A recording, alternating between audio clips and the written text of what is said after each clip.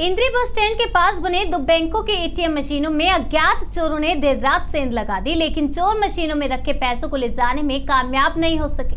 H D F C व ICICI bank, जो कि मेहता मार्केट में साथ साथ हैं, एटीएम मशीनों में गार्ड होने के बावजूद चोरों ने सेंध लगा दी।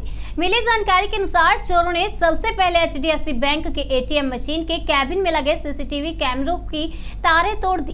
इसके बाद उन्होंने मशीन को खोलने की कोशिश की, लेकिन इसमें वो कामयाब नहीं हो सके। चोर एटीएम मशीन के कैबिन में लगे शीशे को तोड़कर बैंक में जा घुसे, लेकिन वहाँ भी उनको कोई नकदी नहीं मिल सकी। चोरों को शीशे को तोड़ते समय चोट लग गई जिससे उनके खून के निशान फर्श पर लगे मिले हैं।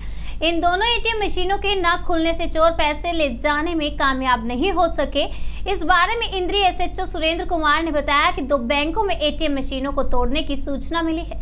बैंक के गार्डों से पुलिस पूछताछ कर रही है। मौके पर एफएसएल की टीम बुलाई गई है, जो कि सारे तथ्यों को जुटा रही है। बैंक में लगे सीसीटीवी कैमरों की फुटेज भी चेक की जा रही है। वहीं इस बारे में बैंक अधिकारी ने कुछ भी कहने से मना कर दिया। इसमें आज रात को किसी नामालूम व्यक्तियों ने ना एटीएम को में से पैसे निकालने की कोशिश करी है, लेकिन वो निकाल नहीं पाया है और इस मामले में अभी कंप्लेंट दे के पर्चा दर्ज करेंगे। सीसीटीवी फुटेज देख रहे हैं। अगर सुराग भी मिल सकता है तो जल्दी इसको ट्रेस करने की कोशिश करेंगे। और मैनेजरों से बात की है तो पैसा कोई गया नहीं है इसमें से। कोशिश की है। तो जी।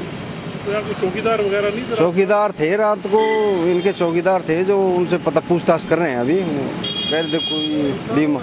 है नहीं नुकसान कुछ नहीं हुआ। थोड़ी कोशिश करिए वैसे। दो बैंकों की घटना हाँ। दो बैंकों की घटना